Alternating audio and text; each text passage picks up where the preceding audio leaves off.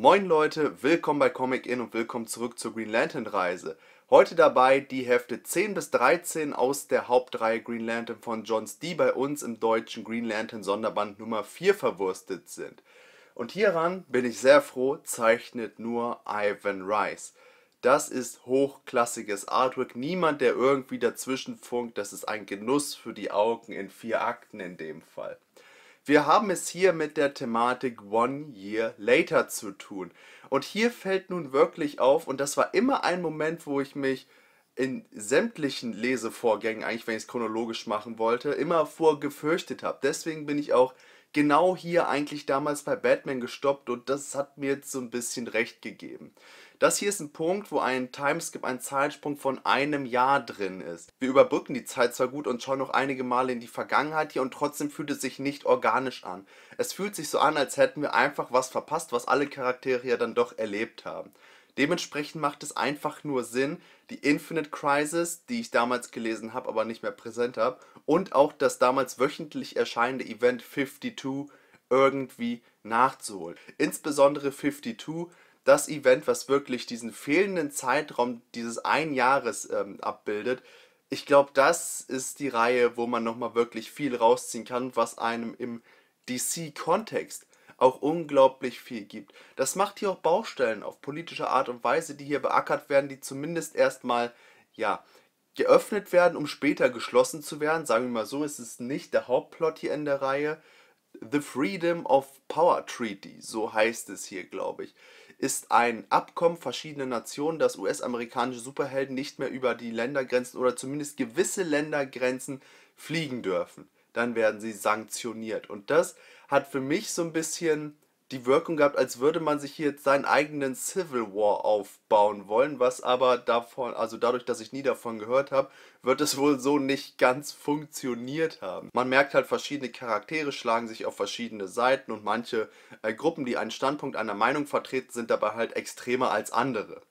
Und Hal Jordan hat nun mal ein Problem in dem Fall, weil als Green Lantern ist dein Sektor die Erde. Und wenn ein Problem in China aufkommt oder in keine Ahnung wo, in in der Elfenbeinküste, da muss er da halt hin, ne? Und den Weltraum muss er auch beackern und da zählen halt keine Territorialgrenzen. Das ist Quatsch für ihn. Und deswegen verstehe ich auch den Standpunkt von Hal John total, dass er darauf pfeift und irgendwie hier schon sechsmal ermahnt worden ist. Hat natürlich auch damit zu tun, dass gewisse Leute ihn ähm, ja, beseitigen wollen und in dem Fall sogar ein Assassine, eine Art Kopfgeldjäger auf ihn angesetzt wird. Wobei hier noch nicht ganz klar wird, hat das wirklich mit diesem Abkommen, mit diesem Vertrag politischer Natur zu tun? Oder hat das doch einen anderen Hintergrund? Weil wir sehen dann nur einmal die Londoner Unterwelt, wo dann, nachdem der erste Versuch äh, der, der, Kopfgeldjagd fehlgeschlagen ist, ein neuer Kopfgeldjäger beauftragt wird. Und äh, das Hauptziel ist halt immer Hal Jordan. Ob das nun wirklich ein Zusammenhang ist, müssen wir noch schauen. Dieser Plot wird halt angeritzt. Es geht darum, dass verschiedene Charaktere, insbesondere natürlich Ollie Queen, sich große, große Sorgen machen. Auch hier wieder ganz tolle Dialoge zwischen den beiden, die auf viele, viele Jahre Freundschaft zurückgreifen. Großartig in Heft 10, hat mir großen Spaß gemacht. Und auf der anderen Seite gibt es halt Gruppierungen gegenüber Hal Jordan, die ihn, ich will nicht sagen tot sehen wollen, aber die ihn auf jeden Fall abstrafen wollen, beispielsweise die Global Guardians, die ich zu diesem Zeitpunkt chronologisch gesehen ewig lang nicht mehr gesehen habe. Und die Gruppenformierung, also die, die Charaktere in der Gruppe sind mir auch alle gänzlich unbekannt, als wenn ich jetzt daran denke, äh, was die Gruppenmitglieder damals zur Justice League International Zeit zum Beispiel noch waren. Also grundsätzlich verschiedene Gruppen, was die Teammember betrifft. Aber das ist nicht der einzige neue Plot, der hier eröffnet wird, denn in Ausgabe 10, oh Gott, was habe ich mich gefreut, haben wir das erste Mal einen gelben Ring, einfach so super random gestreut hier in der Geschichte, einen gelben Ring, der sich einen Wirt sucht. Und es ist Arkillo, das Powerhouse des Sinestro Corp. Wir wissen hier noch gar nichts vom Sinestro Corp, nur wie der Ring seine Ringträger jetzt auswählen wird. Und das ist quasi das komplette Gegenteil zu den Green Lanterns. Ich kann mir sogar sehr gut vorstellen, dass äh, dieses ganze Farbspektrum eigentlich erstmal nur der Gegensatz sein sollte von Gelb zu Grün. Oder andersrum, von Grün zu Gelb. Weil es heißt ja immer, ich als grüner Ring habe dich ausgewählt, weil du kannst große äh, Angst überwinden. Und in dem Fall wird der gelbe Ring halt äh, seine Ringträger auswählen, indem er sagt, du hast die Macht, große Kraft in anderen Wesen auszulösen. Ich finde, das funktioniert auf dieser Ebene zwischen den beiden eigentlich schon sehr, sehr gut. Und das, was dann später kommen sollte, war vielleicht nur noch das Sahnehäubchen. Ich weiß nicht, ob die Idee von Johns hier schon so weit entwickelt war, dass er so groß gedacht hat. Ich meine, es ist dann logisch, dass man das noch ausweitet, aber ich vermute erstmal, die Idee war nur, diese zwei Fronten hier zu erstellen. Akillo, ja, mega geil, mega geiler Einstieg, finde ich richtig gut. Es waren nur zwei Seiten, aber man sieht schon, wie monströs er hier ist und ja, geil. Ich freue mich auf weitere so zufällige Einschübe innerhalb der Storyline, die eigentlich nichts mit dem Plot zu tun haben, wo wir dann neue äh, Corp-Member sehen für die verschiedenen Corps. Jetzt nicht nur Sinestro Corp, aber da wartet ja eh bald der Sinestro Corpo und damit die große Sto Sto Story, die große Story auf uns zu diesem gelben Korb. Also wir machen uns hier zwei Plots für die Zukunft auf, beackern aber einen anderen, der erst am Ende des zehnten Heftes so wirklich einsetzt. Wir haben gerade eine Veranstaltung von der Air Force, auch hier wieder Bezug wahrscheinlich auf das fehlende Jahr, was wir in 52 verpasst haben.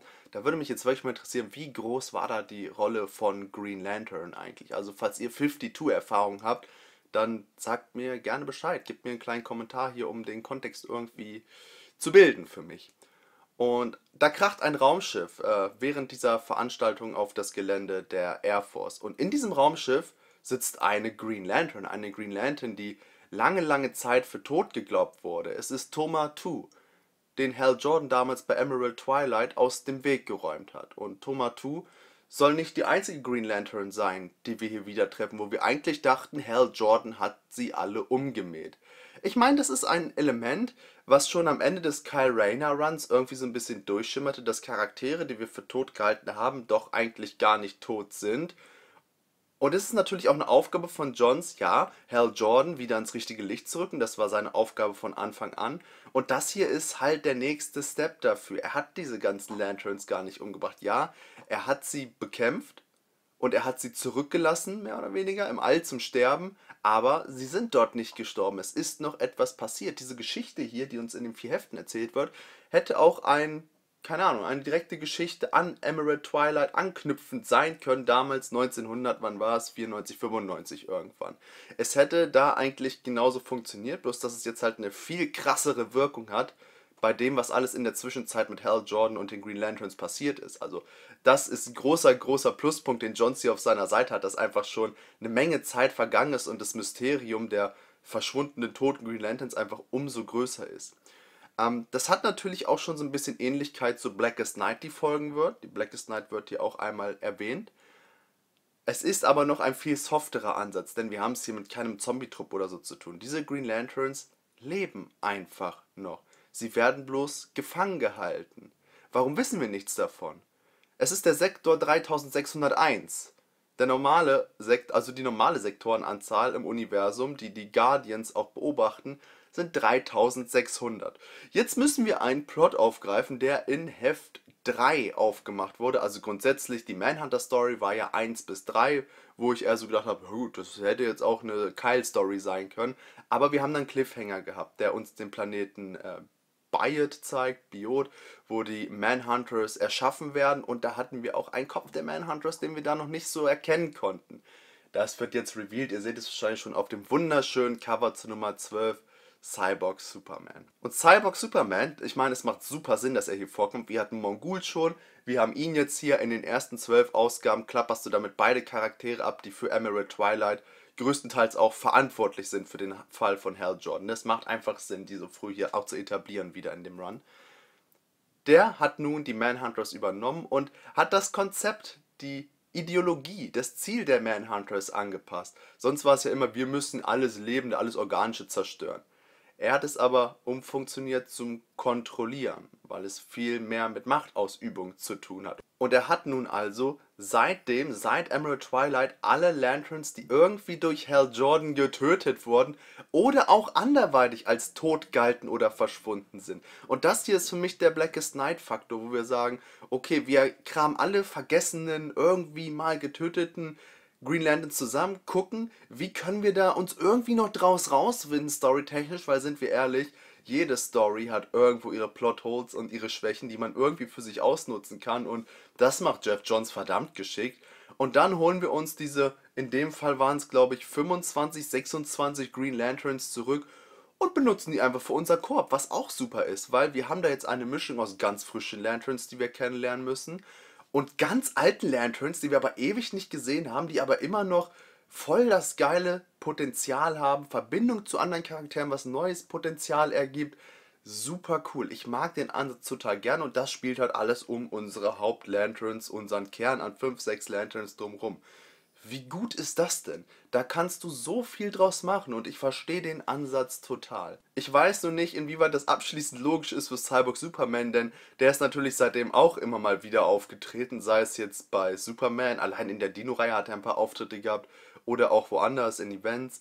Ähm, der muss ja irgendwie in den letzten zehn Jahren, in diesen, in diesen zehn Jahres Gap, der zwischen Emerald Twilight liegt und jetzt dieser Geschichte hier, naja, irgendwie muss er ja immer in dem Sektor 3601 gewesen sein und irgendwas mit den Lanterns angefangen haben, eingesammelt haben. Und ähm, der, der, muss ja den Fokus da irgendwie drauf gehabt haben. Wieso sollte er dann, ich sag mal überspitzt, es gab eine Storyline ähm, Superman gegen Toyman, wo dann auch Hank Henshaw drin war und wieso sollte er damit seine Zeit vergeuden, wenn er hier die heftige Green Lantern Power am Start hat und gerade mal äh, fünf Green Lantern Ringe um seine eine Hand trägt. Also das erschließt sich mir nicht ganz. Ich mag den Ansatz aber trotzdem verdammt gerne.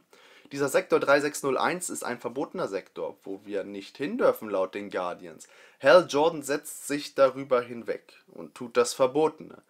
Das ist ein Motiv oder ein, sagen wir Instinkt. Es ist ein Instinkt der großen Green Lanterns. Kyle Rayner hat das auch gemacht in unserem letzten Video. Herr Jordan macht es hier genauso. Der genau richtig ist. Green Lanterns sind dafür da, das Richtige zu tun und nach ihrem Gefühl das Richtige zu tun. Und im Regelfall werden sie, das sind Comics, sie werden immer belohnt. Egal wie, ich sag mal, sittenwidrig die Entscheidung auch ist egal gegen was für Regeln sie verstoßen, letztendlich hat die Entscheidung immer eine Berechtigung.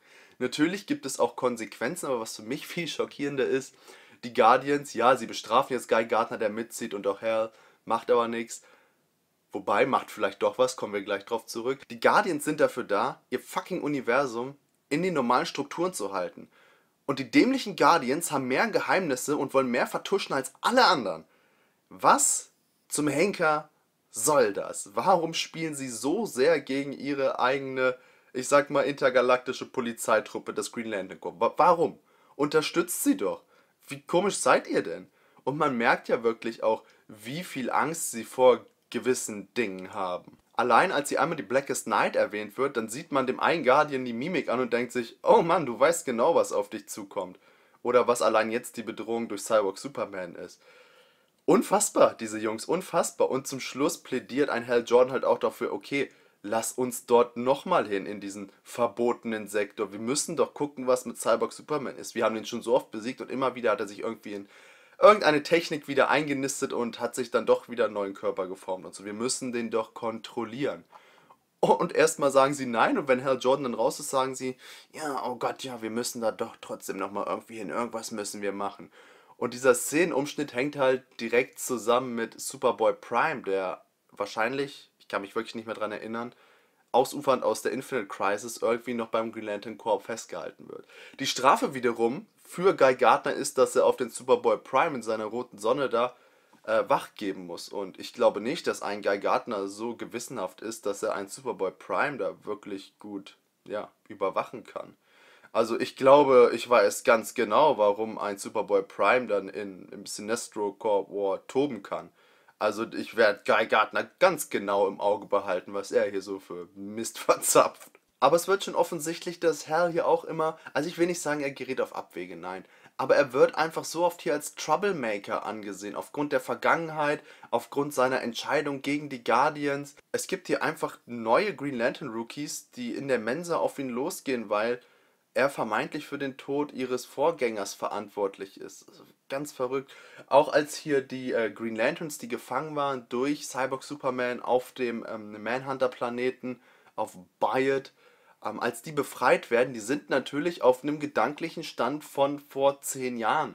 Und die denken auch, Hal Jordan ist gerade in diesem Moment verrückt. Da entbrennt natürlich auch ein kurzer Kampf.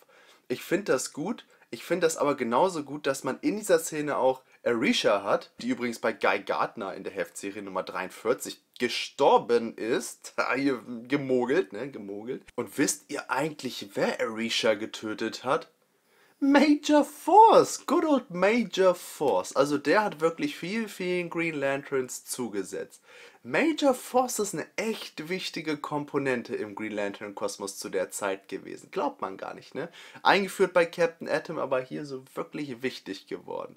Ja, Major Force, der Schurke macht Spaß. Durch das Auftauchen von Arisha bekommt die ganze Geschichte natürlich für Hal Jordan nochmal eine deutlich persönlichere Note und führt ihn dazu, dass er wirklich alle Kraftreserven nutzen kann und Cyborg Superman auch besiegen kann und auch die anderen Lanterns befreien kann, beziehungsweise überzeugen kann, dass er halt nicht der Superschurke von vor zehn Jahren ist und das eigentlich im Innersten auch nie war.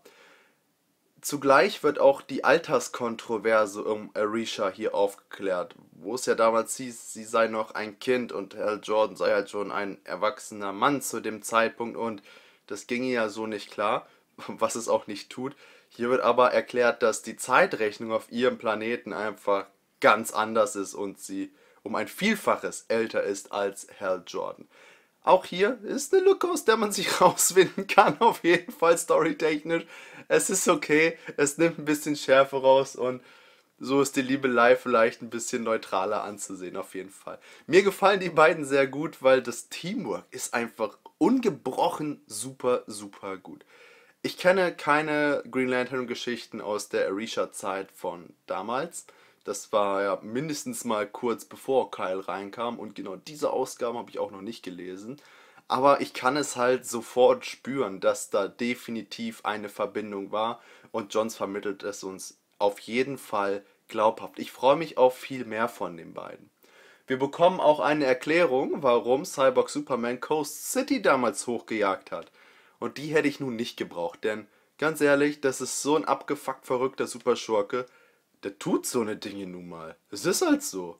Ja, aber er erklärt uns auch hier bekommen wir natürlich nochmal ein Recap von Herr John. Wir bekommen viele Recaps von irgendwelchen kleineren Stories, also irgendwelche Origins nochmal auf einer Seite zusammengerissen oder sowas. Bekommen wir ganz oft in dem Fall. Deswegen bietet sich die Reihe auch sehr gut für Neuleser an tatsächlich. Ähm, Hank Henshaw hat seine Frau damals verloren, dadurch, dass sie auch so einem kosmischen Gas ausgesetzt war, kosmischen Nebel. Ähm, und die kam aus Coast City. Und immer wenn er Coast City sah, sind die Erinnerungen wieder hochgekommen. Das wollte er nicht mehr. Hm. Okay, was kann Coast City jetzt dafür? Naja, mich hätte es äh, zufriedener gestimmt, hätte er die Stadt halt einfach so ohne Grund hochgeblasen. Es wäre es wäre deutlich glaubhafter gewesen, finde ich. Aber nun gut. Alles in allem hatte ich natürlich mega Spaß hier mit der Story. Besonders weil halt auch die Zusammenhänge zu Tod von Superman, Reign of Superman dabei sind. Ah, das ist auch eine der größten und geilsten DC-Stories, die ich gelesen habe. Es ist ein absoluter Epos. Und dazu kommt halt dieses riesige Potenzial, was du dir jetzt schon aufmachst mit der Blackest Night Light, indem wir einfach 25 klassische Green Lanterns, die einfach verschwunden waren oder für tot galten, wieder zurückbekommen. Wir bekommen neue Lanterns und das alles wird so ein gutes, so ein guter Mix einfach, bin ich mir sehr sicher. Das kannst du halt auch nicht verhauen. Ne? Deswegen, also großartiges Potenzial, was man sich hier einfach selbst erarbeitet, selbst freischaufelt. Das wird einem ja auch nicht gerade äh, in die Wiege gelegt. Und ich mag es total. Wir verzahnen uns hier immer mehr. Die Story wird immer komplizierter. Wir bekommen mehr Charaktere in diesen Jeff Jones Kosmos hier rein. Alles ist mehr vernetzt miteinander und das wird richtig, richtig gut. Ich bekomme langsam das Gefühl für viele Green Lanterns, die ich zwar oft gesehen habe, aber womit ich nie so eine Verbindung hatte. Aber wenn man jetzt in so einer Reihe ist, wo man viele Lanterns oft sieht, im Gegensatz zum Beispiel zu der Kyle Rayner Volume, wo man immer nur Kyle sieht, äh, dann ist das nochmal was anderes und ja. Man erlebt es einfach anders und kann nochmal andere Verbindungen zu den einzelnen Lanterns aus der zweiten Reihe auch knüpfen. Ich hab mega Bock, ich bleib natürlich dran, wir sehen uns, euer Comic Bis dann.